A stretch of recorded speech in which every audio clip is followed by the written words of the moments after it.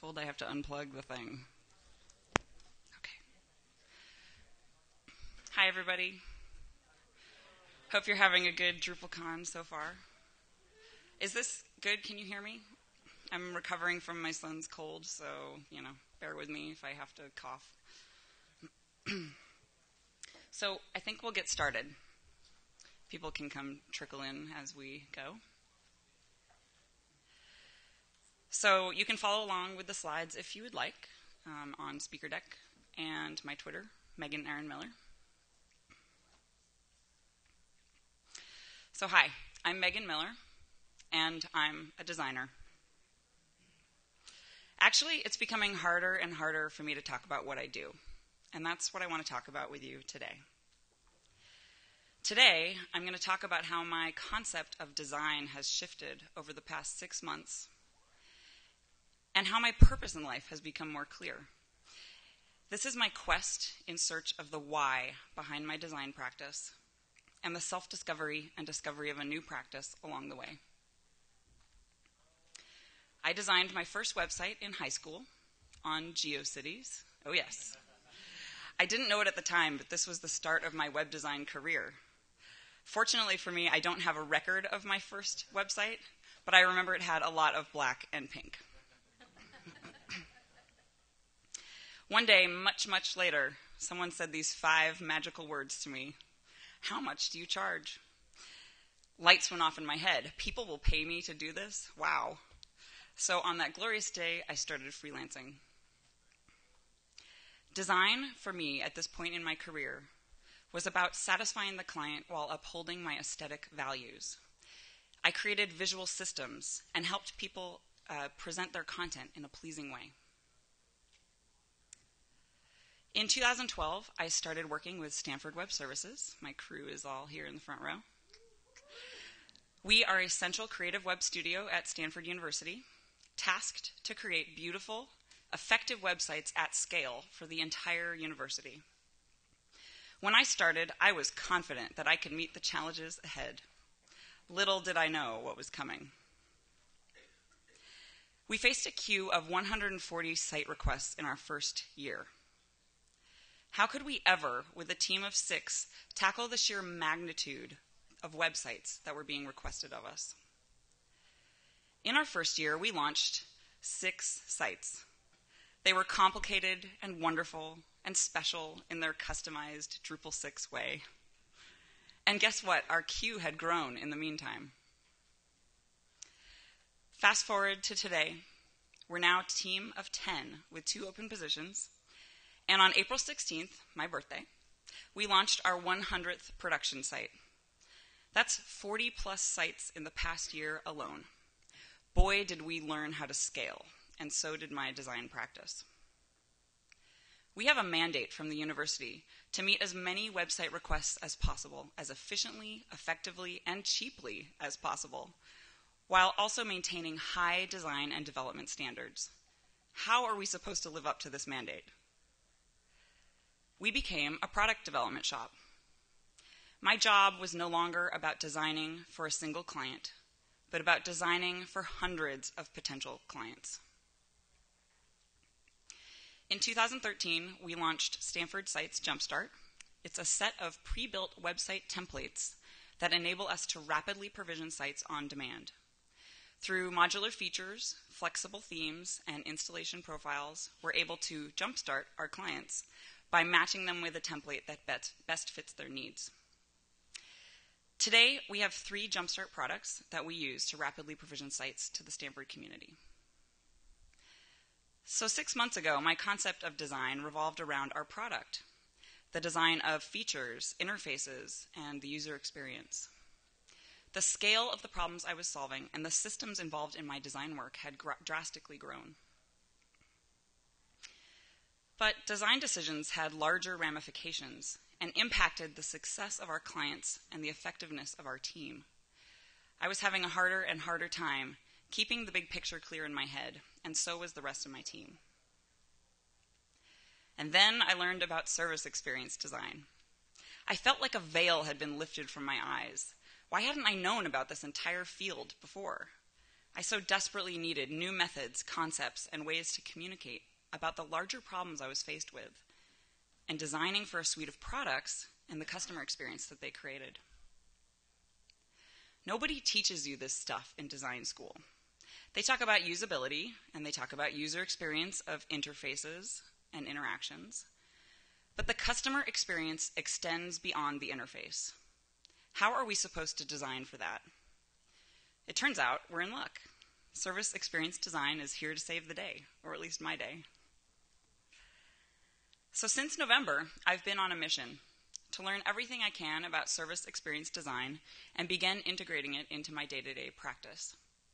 To shift the focus of my work from product to service, and to start thinking end to end instead of interface.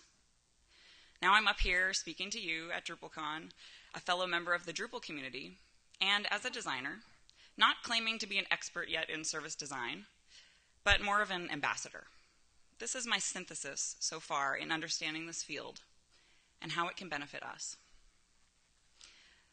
To take you with me on this journey, I want to start with a story. It's spring break. Your dad drove you and your best friend hours to get to the park, and you made sure to arrive early. There's 10 minutes to go before they open the park gates. You have your ticket in hand. Be-doo! They open the gates and scan your ticket, and you run. You run, laughing past vendors, buildings, music playing in the background, shifting as you pass. You run, out of breath, panting. Everything is a blur, but you did it. You are the first group of the day to ride the Viper with no wait. Very important. During this magical day at the theme park, you wait in lines, you find bathrooms, you purchase food, you lock up your belongings, and of course, you ride the rides, each one a unique experience. At the end of the day, you get back to your hotel room and you snack and giggle on the bed, reliving the thrills of the day. And 15 years later, you find a photo in your scrapbook of you and your best friend riding the Viper.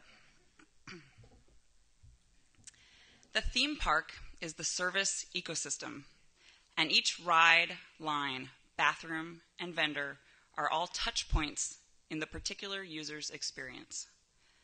This particular story is a single path a user can take through the theme park.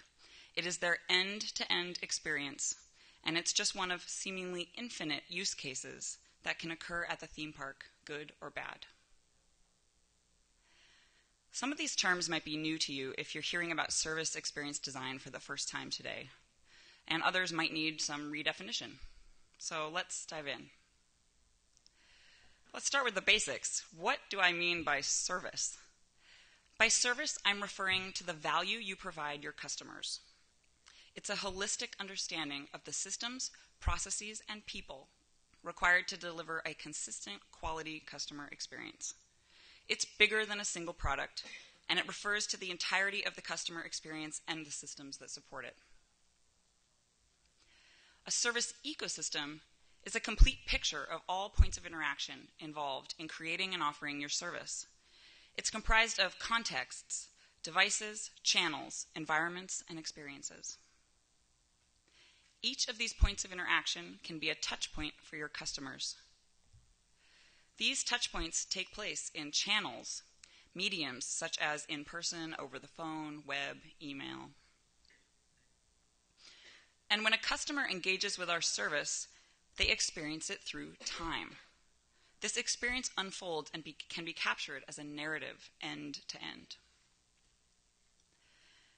This end to end experience a customer may have with our, our service may be representative of a more iconic customer journey or use case that we want to understand better in order to improve our service. These iconic use cases help us zoom in to particular areas of our service where we can have the most impact. In a complex service ecosystem, there may be hundreds of touch points and a seemingly infinite number of end to end experiences unique ones that a customer can experience. It's important to be able to decide which use case to focus on in order to have the most impact. At Stanford Web Services, one of our main challenges to scaling our Jumpstart website service is that many of our clients have trouble seeing how our out of the box templates could become their unique customized website. We've done this a lot, and it's easy for our team to envision how, with a few simple tweaks on the template, you could be there. But how do we help our clients see the possibilities? I wanted to unpack this problem using the lens of service design. But first, let me introduce you to Howard. Howard manages a mid sized academic department at Stanford. His primary concern is to please his faculty while keeping the department on budget. He knows his department website is important for presenting the public face of his department to the rest of campus, the greater community, and to peer institutions. But he doesn't know how websites are made or what the right tools are. Howard is balancing budget, time, pressures from his faculty and students, and the overall goals of his department. When it comes time to make a new website, Howard is already feeling overwhelmed. Let's take a look at all the ways Howard might learn about our Jumpstart website service and all the touch points he interacts with just to make a decision about whether to use our product. In learning of our service, Howard usually would start with a word of mouth referral from a colleague. He then might exchange an email with Sarah, our manager, who would set up a phone call to discuss whether his site would be a good fit for our service. The conversation continues, this time in person with other team members to better understand Howard's requirements. And throughout his conversation, Howard looks at the service page, our demo website, our product roadmap, and the site request form. How can we better design this experience? This is not a user experience design problem. This is a service experience design problem. In Howard's journey as a customer, he's engaging with our service across many different channels, in many different contexts, and through many different touchpoints. We have to be able to design between the gaps, between the touchpoints, in order to improve Howard's experience. We need tools to do this. We need the tools of service experience design. In approaching this problem, I first wanted to get a better understanding of the totality of our service. I wanted to create a holistic map of the service ecosystem that would illustrate the complexity of our service and show how Howard's story fits into the bigger picture. This service ecosystem map would include all the touchpoints, tools, conversations, interactions, clustered by context. Here's what I created. I know it's a little hard to read, um, I'll tweet out the, the original of this. In the Jumpstart service ecosystem, you'll find tools like Jira, Basecamp, Harvest, Slack, infrastructure like servers, web authentication, customer interactions like troubleshooting or help ticket resolution, and supporting documentation like our product roadmap, blog posts, and our user guide videos.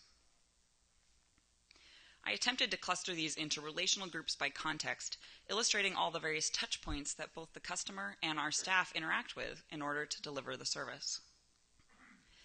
And here on the map is where Howard's story fix, fits into the bigger picture. So, this map helps us visually understand the complexity of our service experience and how the particular use case I'm interested in analyzing fits into that larger service ecosystem but it's a challenging amount of information to display, and the results is a somewhat complicated artifact to read. I wanted an even more high level overview of our service to see more clearly how Howard's story fits into the end to end experience. The next thing I created was an end to end overview document.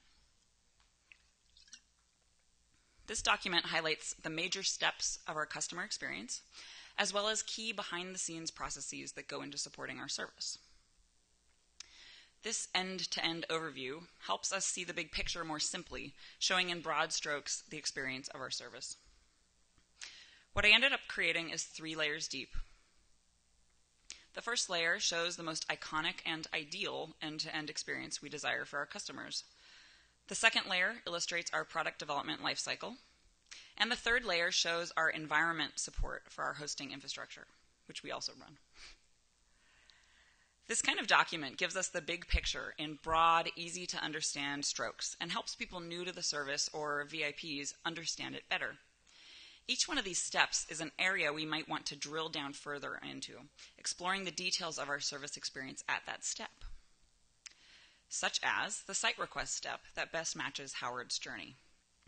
So, now that we see how Howard's journey fits into the big picture, how can we uncover insights into improving his experience? We need to zoom in and analyze in detail the steps that make up his use case. We need to create a service blueprint.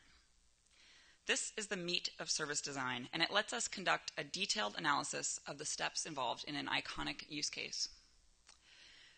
Through this detailed analysis, we can uncover true opportunities for insight. Here we take our site request step and unpack it into its many sub-steps. Now remember, Howard's story includes many different contexts, channels, touchpoints. In order to map his experience, we need to involve people who are experts at all of these touchpoints. So I brought together a subset of our staff that can speak to different aspects of Howard's experience.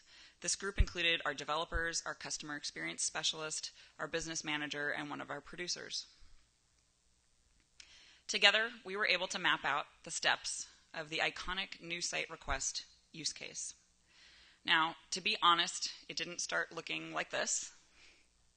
It started as a Google Doc, as most good things do, to facilitate real time note taking. And you just can't generate insight from a document like this, it's too messy. What we want is a visual system to display the steps and their nuances, a system that is geared towards generating insight. If you're familiar with service blueprinting, you may be more familiar with this front stage, backstage, swim lanes format, where the customer actions are on the top, and below it, as you go deeper, you're deeper into the systems and processes of the organization. The template I've chosen to use was developed by Erik Flowers, Principal Service Experience Designer at Intuit. We've been collaborating to create a more actionable blueprint template, and we found that this format is more effective for analysis. The most important thing to remember is use a template that fits your use case, your company, your way of thinking. In the top section, you list the step description. So try to kind of break down your use case into discrete steps. And you have a picture of a touch point, relative, a, re- a relevant touch point. For example, uh, a site request form.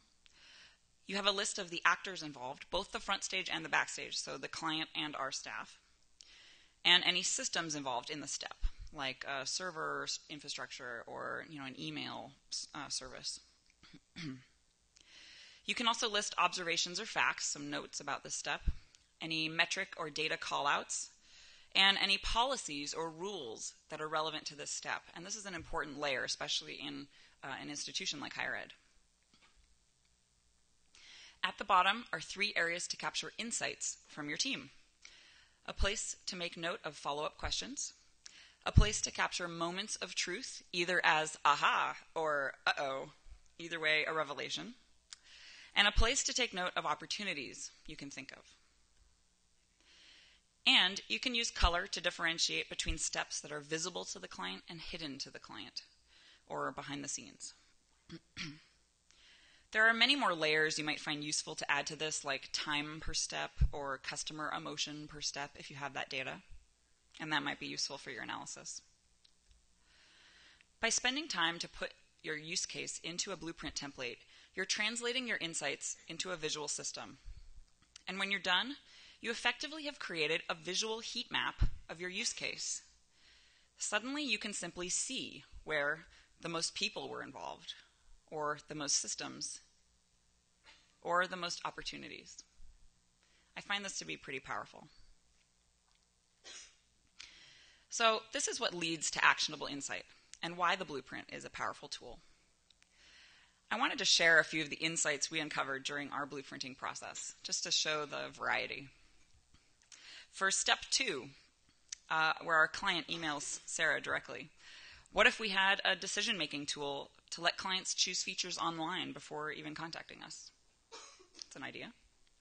For step four, where our client and our team get together to talk about whether their project is a good fit for our product, What if, when it isn't a good fit, we simply don't mention our product, but instead we treat it more like a custom project, which it is?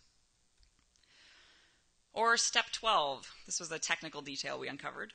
When we deploy our Jumpstart site template, what if we could automate the creation of new databases and allow for more than one deployment to happen at once? Because right now we can't for some reason. or step 14, um, adding our info on this new client into our client tracking database. Right now, we're manually hunting down this information in like five different places, and we uncovered that in service blueprinting. So, what if the deployment script, which knows all this stuff anyway, could just spit out a report at the end and say, "Here's your site. Copy this and paste it in," or better yet, make a you know a feed API. so these insights are about business, they're about technology, and they're also about strategy. It's, um, they're tied to the, an understanding of both the customer's experience and our experience as well, the surface to core process and systems that we have on our team. Now that we've identified opportunities for service improvement, taking into consideration the fine details uncovered and the larger context in which those details live, now we're back to something familiar, creating a proposal for work to be done. The next step is you work with your product and business owners to outline the scope of work involved and address the identified areas for service improvement.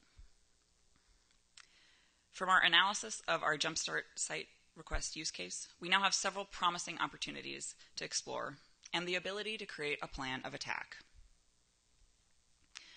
These artifacts and explorations have given us understanding at scale, both the big picture and the minutiae. On one end of the spectrum, the insights might be too specific.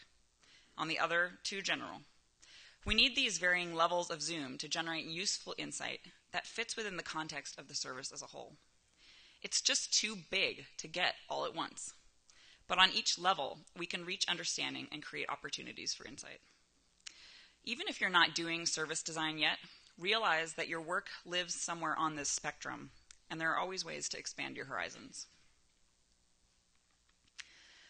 Through this process, we learn eight important principles that are at the heart of service experience design.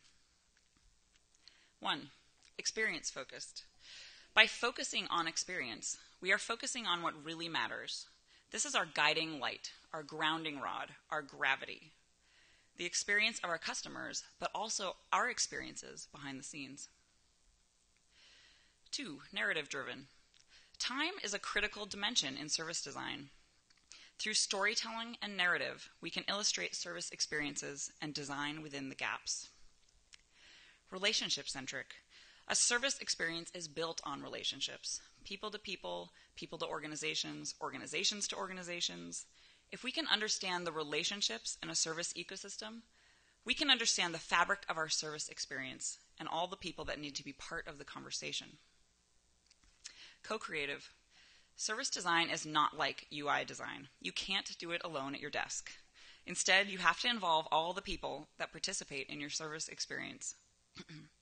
this might mean pulling together a cross functional team that might never have been in the same room before, ever.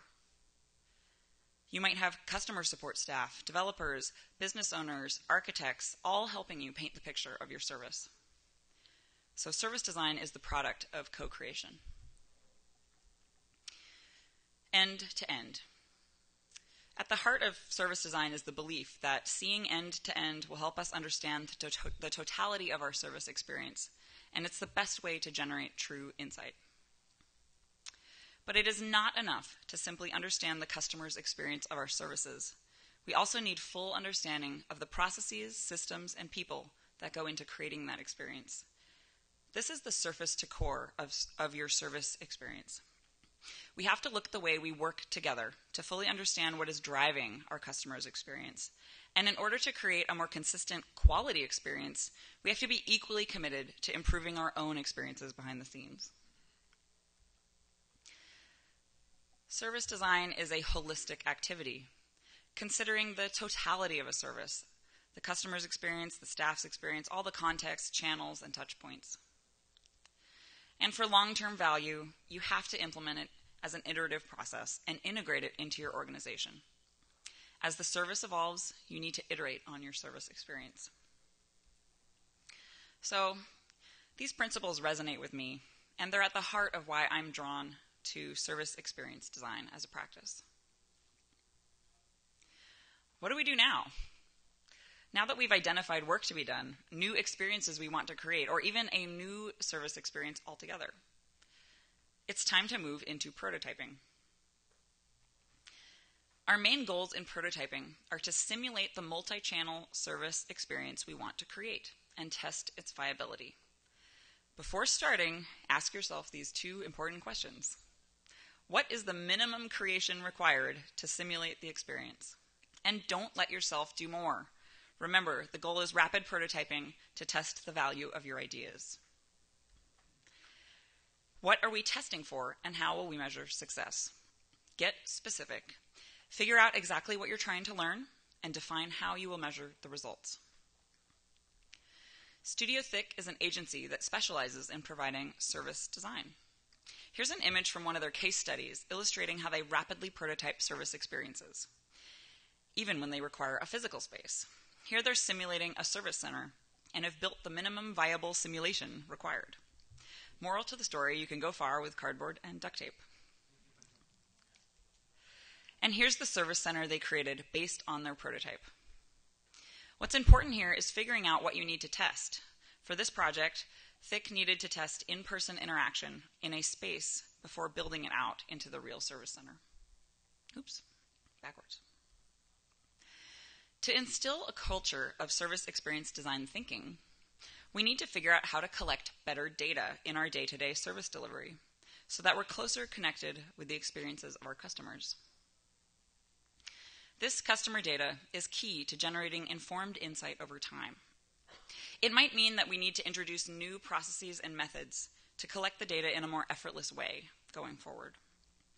For Jumpstart, I've been working with our customer experience specialist, Joe, to gather help ticket data over the past year and better understand the pain points and requests directly from our clients.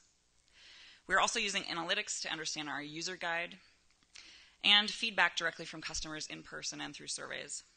This data helps us stay confident that we're making informed decisions and painting an accurate picture of our service. Now we can prioritize what to focus on and make sure we're solving the right problems. By looking at the data, talking to the people that make up the service, you should be able to narrow in on the use case that will be most helpful to address in order to improve your service. Once you've narrowed in on your focus, you can assemble your team and dive in. This is messy, complex, challenging work. It means stepping outside of your comfort zone into new design territory, but there is so much potential. For us designers, where user experience design is like welding in your garage, service experience design is like welding at the bottom of the sea on a deep sea oil rig. It's a major change of context, but the fundamentals still apply. Taking a service design approach has helped our team improve the Jumpstart service, creating new efficiencies, and for the first time, being able to see the complete picture of the service we offer. So, why does Drupal need service design? We are no longer designing for single interactions. Websites are interconnected with other services. To design a website, we, we may need to understand the entire service ecosystem and our research can also impact the client's offerings beyond their website. We might be in a place to make those recommendations. We have an opportunity to use our design thinking to help support the human systems behind the services of our customers. And to take this to heart, we have to acknowledge that we ourselves are providing services. Drupal is complex. Providing Drupal often means providing Drupal service experiences. On the flip side, I believe Drupal is the platform to support clients who offer complex services. And clients that have a service ecosystem should be using a powerful CMS. For web agencies, we can be adding service design into our discovery process customer journey mapping, service blueprinting, service ecosystem mapping. I know some of you have already started doing this, and I would love to hear from you if you are. And for the brave among us with the right clients, we could consider offering service experience design as a service. So think big. Think more holistically about designing experiences. Consider the experiences our agencies create, intentionally or not, and learn new methods to design for an ecosystem. Because whether we intend it or not, all of our interactions add up to an end to end experience for a customer. My concept of design has shifted in a major way. It is no longer simply about creating visual systems or a usable product, it's bigger than that now. It's about designing a multi channel, ecosystem wide service experience. In my work, I'm finding new ways to think bigger and to visualize the end to end experience so that I can help my team grow and improve and help us serve our customers better. I have found a new reason to be passionate about my practice and to be proud to call myself a designer. I want to leave you today with a set of suggestions, a toolkit of sorts, to help you build service design into your practice. First, consider mapping your service ecosystem to better understand your service and the totality of it. Include all the touchpoints and interactions and try to cluster them by context. Second, identify your high impact use cases, the ones where you know improving those will drastically improve your service. Understand how, how these use cases might cross channels and touch points for your customer. Third, get the right people in the room to create a complete end to end understanding of your use case and create a service blueprint. Lean on any real data you have to make this as accurate as possible and generate true insight. Fourth, as you drill down into the steps of your experience, capture any questions, moments of truth, opportunities that become apparent, and make a plan of action around those. And lastly, once you have a vision for your new and improved service experience or a new service, test your improvements through simulation with real clients. Focus on the minimum viable product to test as rapidly as possible. So, this is by no means a comprehensive introduction to service experience design, but it's a place to start. I hope you consider as- adding aspects of service design into your practice and into the fabric of your companies. I've compiled some additional resources to help you get started if you've been inspired today. So join me on my journey into service design, and thank you.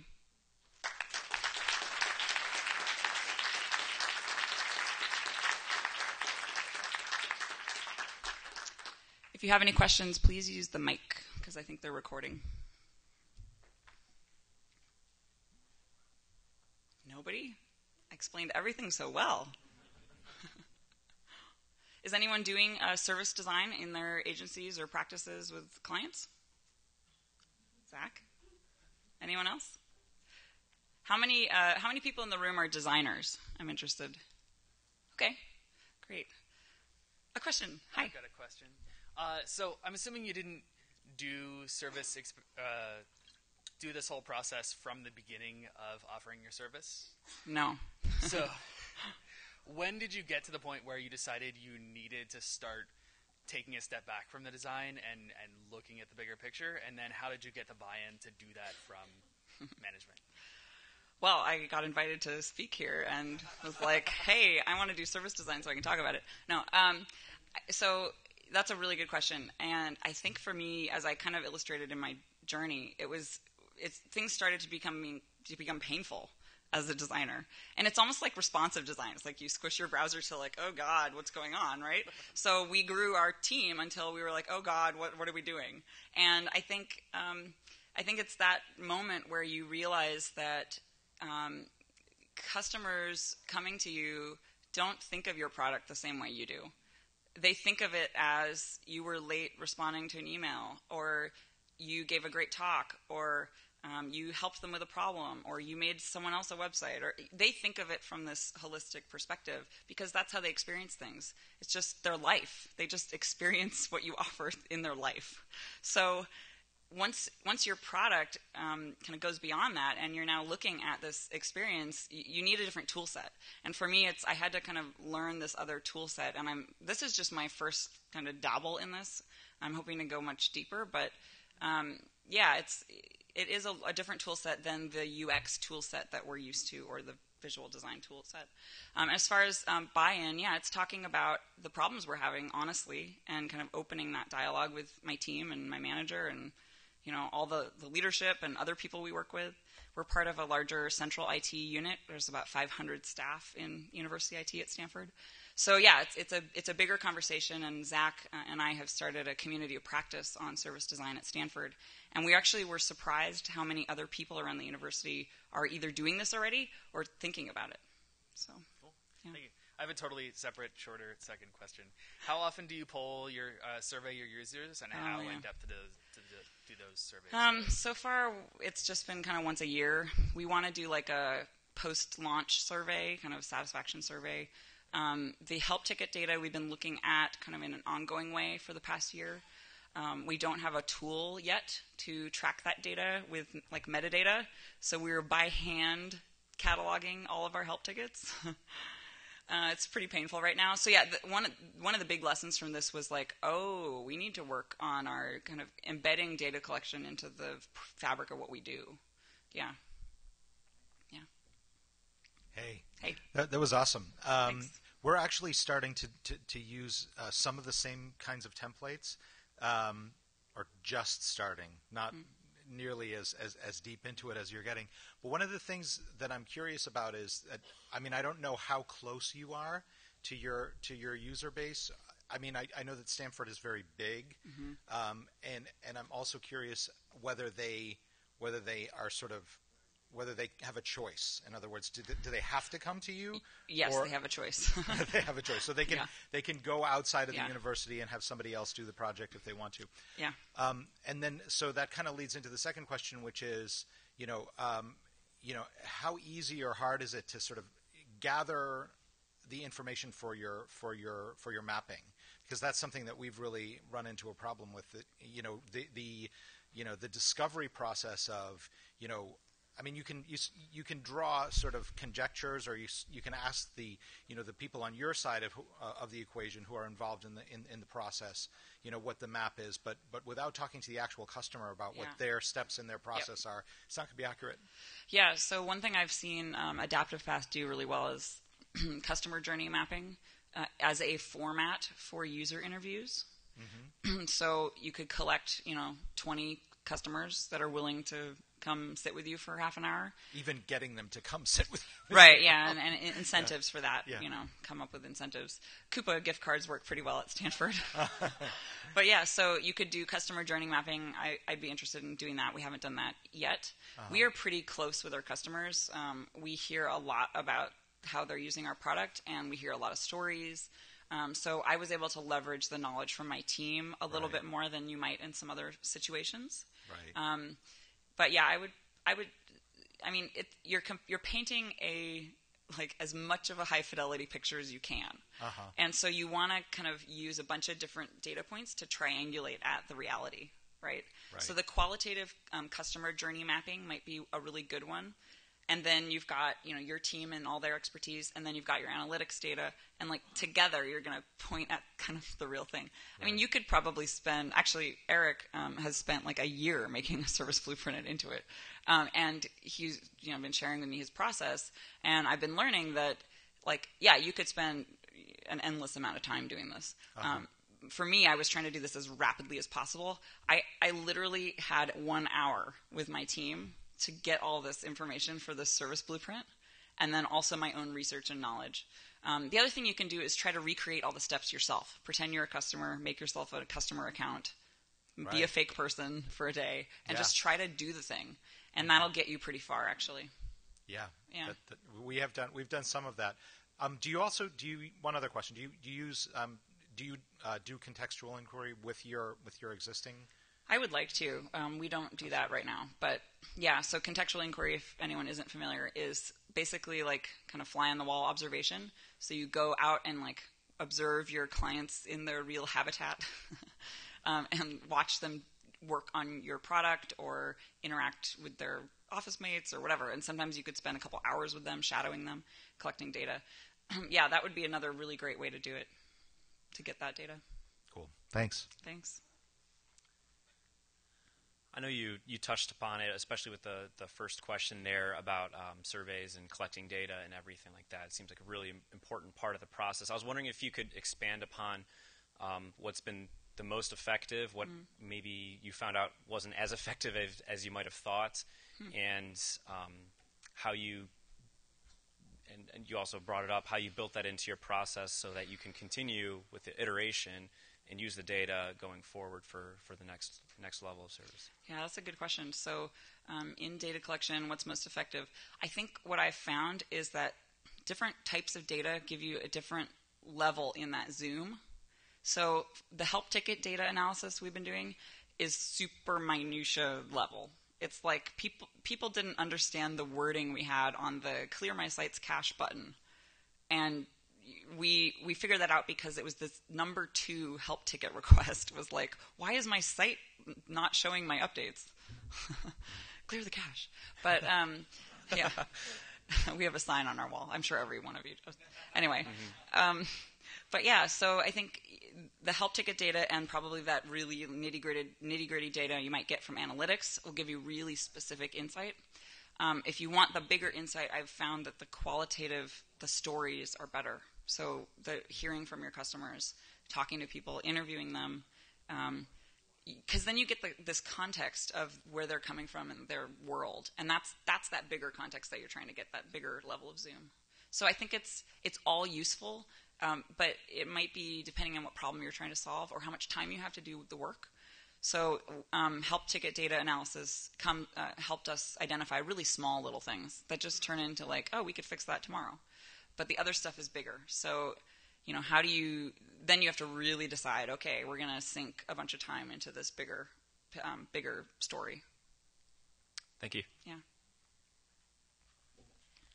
I work at a university library, so this was actually a very a much welcome approach because this is, of course, always the question of the day. They use the users can't find the stuff, and they come in here looking for the stuff, and they don't know what your labels mean. Yeah, that's a and great context. So mm-hmm. there are like multiple multiple types of users, multiple types of services. The yeah. type of user, the same person may be a different type of user on different days.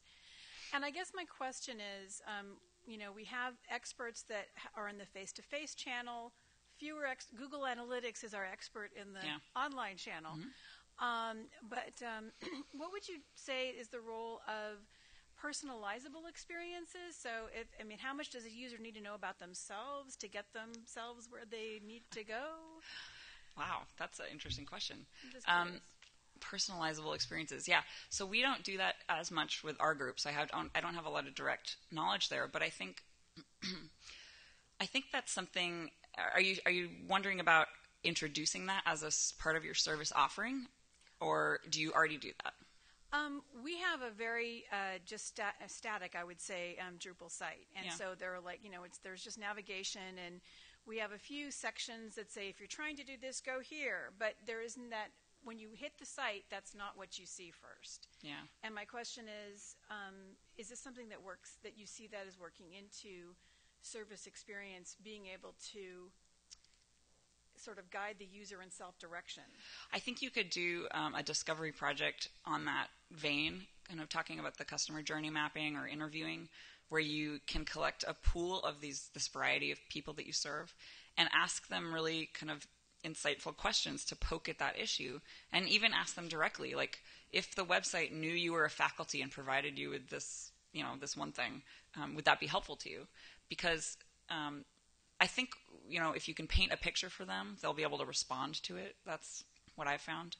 Uh, I think that there's that's a really interesting idea. I don't think Stanford Libraries has done anything like that, but I know that there's very advanced search functionality going on um, in the libraries at Stanford um, that I've seen evolve over time.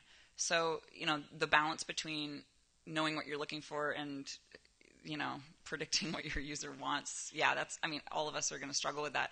I think, yeah, coming up with maybe some really good questions to ask your users to figure out if they would be interested in personalization and what that might look like. It might be a good place to start. Okay, cool. Thank yeah. you. Well, thank you guys so much. I know I'm, I ended a little early, but hopefully more time to gab and chat. Come up and talk to me. Thanks.